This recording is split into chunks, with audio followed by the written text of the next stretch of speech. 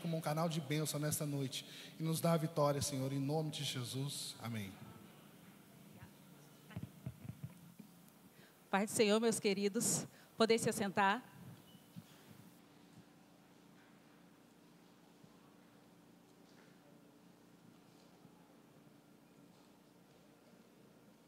Abra sua Bíblia lá em João, capítulo Isa, neta da irmã Maria. João 17, amém? Versículo 21, diz assim, ó. Para que todos sejam um, Pai, como tu estás em mim e eu em ti, que eles também estejam em nós, para que o mundo creia que tu me enviaste. Amém? É, esse é um texto que eu gosto muito, é a oração sacerdotal de Jesus. E essa oração ele fez pouco antes da ceia. Ele teve a ceia com os discípulos e depois ele fez essa oração e depois ele foi para o Getsemane, que é aquela oração tão famosa que ele fala aqui, pedindo a Deus para passar esse cálice dele.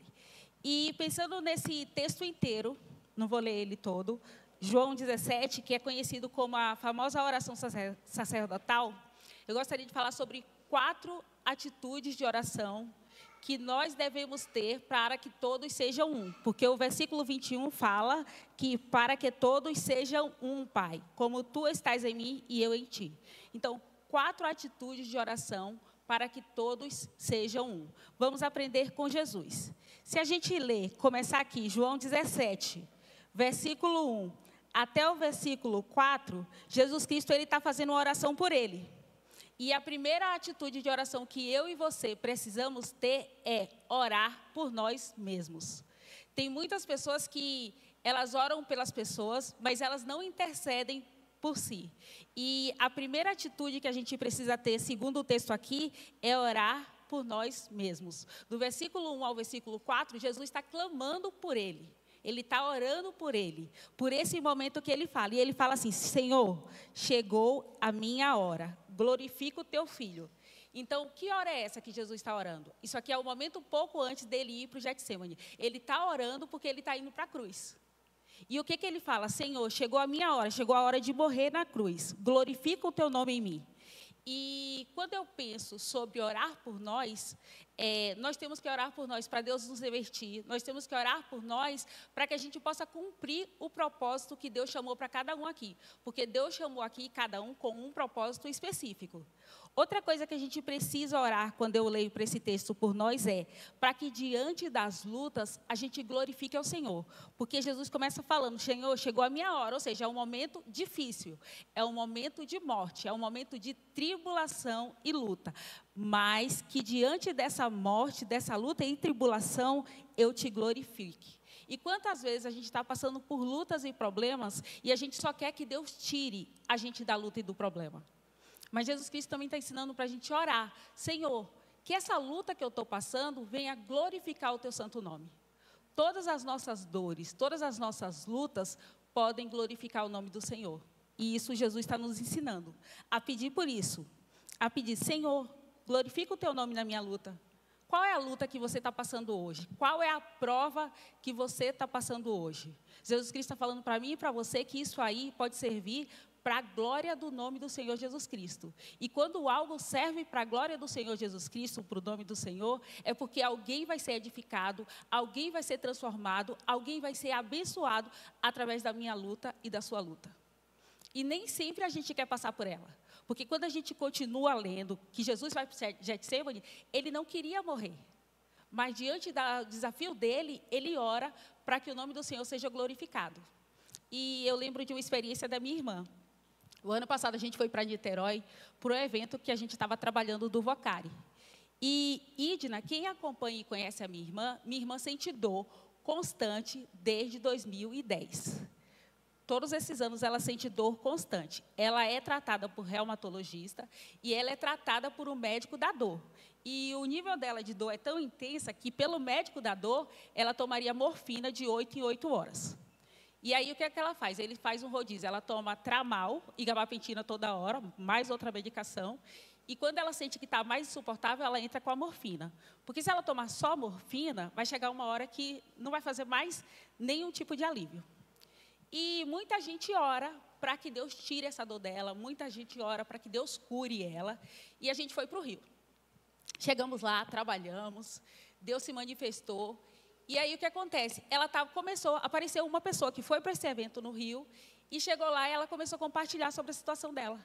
Essa pessoa abraçou ela e chorou. Porque ela se sentia culpada. Essa irmã tem fibromialgia. E ela se sentia culpada porque ela tinha dor e porque ela orava a Deus e Deus não curava ela. E aí ela se sentia pequena. E através da dor de ídina que ela sente desde 2010 constantemente, ela pode edificar outra pessoa. Então, todas as nossas lutas e dores podem edificar outra pessoa. E é isso que Jesus Cristo fala, Pai, que a minha morte glorifique a Ti. Então, a primeira coisa que a gente tem que ter de atitude de oração é orar por nós. Agora, a segunda atitude de oração vai estar do versículo 6 até o versículo 19. Se a gente for lendo, Jesus começa a orar pelos discípulos. E o que, que a gente aprende? Qual é a segunda atitude? Nós devemos orar pelo nosso próximo. Só que aqui não é qualquer próximo, é aquelas pessoas que estão na caminhada com a gente servindo ao Senhor. Jesus está orando por pessoas específicas, é os discípulos. É aquelas pessoas que, quando ele subir, vai continuar trabalhando. Jesus está chamando a gente a interceder pelo nosso próximo. Quantas vezes alguém pede oração e a gente fala, não estou falando de um pedido de oração que alguém simplesmente colocou no grupo da igreja. Estou falando de um pedido de oração que às vezes a gente se compromete com a pessoa que a gente vai orar e a gente fala para aquela pessoa, eu vou orar por você em relação a isso, e a gente deixa de orar na segunda, no segundo dia que aquela pessoa foi embora e a gente esqueceu de orar. Quantas vezes nos comprometemos a orar por alguém e a gente não ora por essa pessoa? Então, Jesus Cristo está chamando a gente aqui, nos desafiando a orar, interceder. E é melhor eu e você falarmos. Isso eu tenho aprendido com a minha mãe. Minha mãe ela é uma intercessora, sempre foi. Desde que eu me lembre, minha mãe é uma intercessora. Só que minha mãe ela não ora por todo mundo. Se ela falar para você que ela vai orar, ela vai orar por você todos os dias. Mas se ela falar eu não vou orar, ela não vai orar. Então minha mãe ela não fica falando para todo mundo, eu vou orar por você. E isso Deus tem me ensinado através da vida da minha mãe, que quando eu falar para alguém que eu vou orar, eu tenho que me comprometer. E Jesus está falando aqui que o quê? Quando eu leio esse texto, que nós temos que ter essa responsabilidade, essa atitude de orar por alguém. Você está orando por alguém que é seu irmão em Cristo? Você precisa orar por alguém que é seu irmão em Cristo. Se você não tem alguém, pede para Deus te mostrar. Pede para Deus colocar no seu coração o irmão em Cristo que precisa da oração. Mas não é para orar só um dia, é para continuar orando todos os dias. É para continuar intercedendo pela vida dessa pessoa. Então, quando Jesus nos desafia a orar, é no, pelo próximo, é desafio constante de oração. Não é aquilo que a gente fala assim, vou fazer e daqui a uma semana eu parei de fazer. Não. É daqui a uma semana você continua orando, daqui a um mês você continua orando por aquela pessoa, daqui a seis meses você continua orando por aquela pessoa, daqui a um ano você continua orando por aquela pessoa. Isso é um compromisso de oração. E eu glorifico a Deus porque eu sei que tem pessoas que caminham comigo e intercedem por mim há muitos anos. E o terceiro desafio de oração, o terceiro atitude que a gente vê aqui, vai estar do versículo 17 até o versículo 26, que diz o quê? Orar por aqueles que ainda crerão. A MPC, a missão que eu faço parte, ela chama isso de jovem alvo.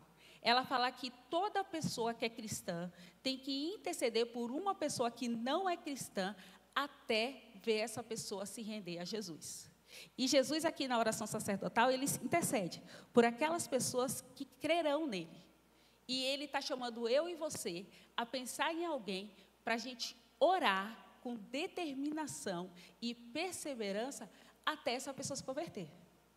Então não é parar, porque assim, ó, a gente não sabe quando a gente começa a orar por alguém, se ela vai se render a Jesus daqui a um mês, daqui a um ano, mas ela pode demorar 40 anos para se render ao Senhor. E Deus está chamando a gente a interceder até essa pessoa crer. É isso que Jesus Cristo está orando. Ele está intercedendo pelos que crerão. E Ele está chamando a gente até essa atitude de interceder por alguém. E o desafio hoje é: se você não tem alguém que você tenha orado com constância para se render a Jesus, Deus está falando que essa é uma atitude que eu e você precisamos ter, porque Jesus Cristo tem essa atitude. E a gente precisa colocar essa pessoa nas nossas orações para que o Senhor possa salvá-la, para que o Senhor possa alcançá-la. E a última atitude, a gente tem que ir lá para Mateus. Mateus 26. Se a gente fosse continuar no texto, Jesus está indo ali, faz a oração sacerdotal, vai para o Getsemane. Só que em João, no Evangelho de João, ele já pula direto para quando Jesus Cristo for ser preso. Então, a continuação daquele texto vai estar lá em Mateus capítulo 26, a partir do 36. Jesus Cristo, ele vai subir ao monte, ao Getsemane, e ele vai levar os discípulos dele com ele. E a Bíblia fala aqui, ó, indo um pouco mais adiante, prostrou-se o rosto em terra e orou: Meu pai, se possível, faça de mim esse cálice. Ele diz que ele chama Pedro, Tiago e João. E a quarta atitude de oração que eu e você precisamos ter é pedir alguém para orar por você. Porque nós somos um corpo. E quatro atitudes de oração para que sejamos um é o quê? Não sou eu sozinho. Eu preciso do outro. Eu preciso do outro para caminhar. A Bíblia fala orando, orai uns pelos outros. E Jesus Cristo aqui, ele deu o exemplo. Ele chama Pedro, Tiago e João para ir para o monte Getsemane com ele, para orar com ele. Eles podem ter dormido, podem ter não resistido àquela luta, mas eles estavam lá. E a Bíblia fala que nós temos que pedir às pessoas, chamar alguém de confiança e pedir oração e falar para essa pessoa, porque a Bíblia fala que nós não estamos sozinhos. Isso é uma atitude de quê? Jesus ensina que a gente não é autossuficiente.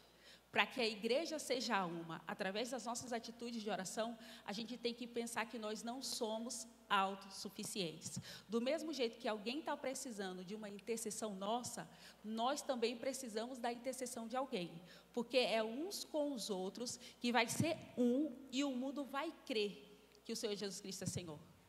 Então é essa unidade na igreja. E quando eu peço para alguém orar para mim, por mim, eu estou mostrando que eu preciso dos outros. E eu estou dando para alguém esse voto de confiança também. Porque se eu peço para alguém orar por mim, é porque eu confio naquela pessoa, certo? Se eu estou abrindo meu coração em relação a algum problema, é porque eu acredito que aquela pessoa vai orar até aquilo se resolver. Então eu estou dando para alguém também o meu voto de confiança de que eu confio em você, meu irmão, que eu posso, você pode orar por mim e que você vai estar comigo nessa luta. E quantas vezes a gente intercede por alguém, mas a gente não manda uma mensagem para aquela pessoa? Eu tenho que mandar mensagem toda vez que eu orar? Não. Mas às vezes, o simples fato de você mandar mensagem para alguém naquele momento que você está orando, vai ser toda a diferença que aquela pessoa precisava para saber que ela está com alguém. E às vezes as pessoas só precisam disso. E quantas vezes a gente ora, intercede por alguém, mas a gente não manda uma palavra para aquela pessoa. Então, o desafio dessa semana, das quatro atitudes de oração, é: você vai pensar em orar por você, você vai escolher alguém para estar orando por essa pessoa, mas você vai mandar uma mensagem para essa pessoa essa semana, falando: Eu estou orando por você. Coloca um versículo para essa pessoa, porque às vezes essa pessoa só está precisando disso para continuar caminhando, para saber que ela não está sozinha. A terceira atitude é: nós vamos orar por alguém que ainda não conhece Jesus. Não precisa orar por todo mundo, escolha uma pessoa que ainda não conhece Jesus, que você gostaria de ver aqui, servindo ao Senhor, e comece a interceder por essa pessoa. E não pare até o dia que ela vier para Jesus. E essa semana ainda você vai fazer a quarta atitude também. Você vai mandar mensagem para alguém que você confie e você vai pedir uma oração para essa pessoa. Porque essa pessoa vai ser privilegiada por estar participando da sua dor com você. E eu louvo a Deus porque nessa caminhada de dores e lutas que eu e Idra tantas vezes vivemos, quantas vezes eu recebi mensagem de alguém falando assim: Adriane, eu estou orando por você. E naquela hora que a pessoa mandou essa mensagem, eu estava no hospital recebendo uma notícia ruim do médico, falando que a coisa, em vez de melhorar, tinha piorado e que a gente teria que fazer outra coisa. E para mim, ali foi um conforto. Foi uma palavra de renovo para falar, saber assim: ó, você não está sozinha nessa caminhada. E muitas vezes tem alguém aqui precisando disso. Então, mande uma mensagem para alguém essa semana e fale: Estou orando por você. Não desista ainda. Caminhe mais uma milha. E peça alguém oração. Por quê? Alguém vai se sentir privilegiado de participar da sua dor com você. E quando a gente fizer essas atitudes, a gente vai ver que a igreja vai crescer, porque a Bíblia fala que há de acrescentar aqueles que hão de ser salvos. Porque a nossa unidade, essa comunhão, essa transformação que a oração produz, vai fazer que as pessoas vejam que apesar de serem todo mundo diferente, a gente consegue se amar, a gente consegue se respeitar, a gente consegue se perdoar, a gente consegue abraçar sem falsidade, porque nós somos diferentes, vamos ter atritos, vamos, mas o amor de Jesus que nos comprou é maior que todas as nossas diferenças. Então, que a gente possa ter uma atitude de oração essa semana, se entregar ao Senhor. Eu gostaria de pedir que vocês ficassem em pé. E como atitude de oração, nós vamos interceder uns pelos outros nesse momento. Junta com alguém que está do seu lado. Se não tiver alguém do seu lado, procura outra pessoa. Nós vamos fazer agora uma, um momento de intercessão. Nós vamos interceder uns pelos outros. Junta com alguém. Se você sentiu vontade de orar por uma pessoa que não está do seu lado, está em outro local, pode se movimentar e ore. Porque quando a gente ora, a gente está falando de uma coisa que a gente não sabe o fruto que vai produzir. Mas a gente sabe que Deus escuta. A gente sabe que Deus nos ouve. E a gente sabe que Deus tem poder de fazer infinitamente mais do que nós pedimos ou pensamos. Então, interceda pelo seu irmão agora, para a glória do nome do Senhor Jesus Cristo. Senhor Deus, neste momento, Pai, quero colocar, Pai, cada um dos meus irmãos que está aqui nesse local, Pai. Visita, Senhor Deus, cada um dos meus irmãos agora. O Senhor sabe como cada um chegou aqui nesse local, Pai. Deus, em nome santo de Jesus, esteja tocando, Pai. Esteja abençoando, Pai, cada um dos meus irmãos. Toma as dores de cada um dos seus servos, que a gente possa glorificar o teu santo nome nas nossas dores, nas nossas dificuldades, Senhor Deus. E que a gente, Deus, possa também abençoar, Deus, os nossos irmãos, Pai, nas nossas limitações, Pai Cuida, Senhor Deus, visita, Senhor Deus, aquele que chegou aqui nessa noite com uma necessidade especial, Pai. Esteja tocando, Senhor Deus, esteja removendo toda a luta, esteja removendo toda a dor, Deus. Esteja removendo, Senhor Deus, todo o levante de Satanás contra essa vida, que caia por terra em nome de Jesus, Pai. Que essa pessoa, Deus, possa sentir a tua paz, que excede todo entendimento, que ela possa sentir o teu alívio, Senhor Deus, que ela possa sentir nesse momento o teu conforto, Senhor Deus, que ela possa sentir que o Senhor está cuidando, que o Senhor está guardando, que o Senhor está fazendo, Senhor Deus, infinitamente mais do que nós estamos pedindo ou pensando, Pai. Deus faz, Senhor Deus, aquilo que só o Senhor pode fazer. Nós te pedimos, Senhor Deus, gera, Deus, em nós, Pai, no nosso coração, atitude de oração, Pai.